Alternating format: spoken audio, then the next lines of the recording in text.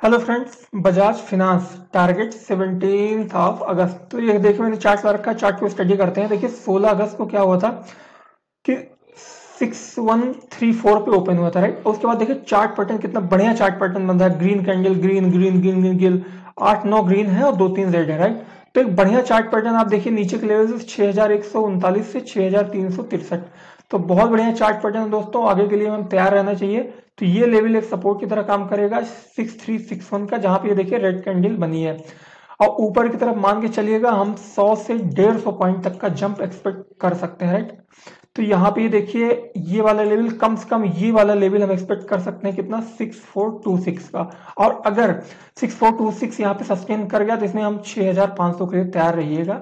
दोस्तों, यही chart pattern है, आप ए लेवल आप ध्यान रखिएगा। Thank you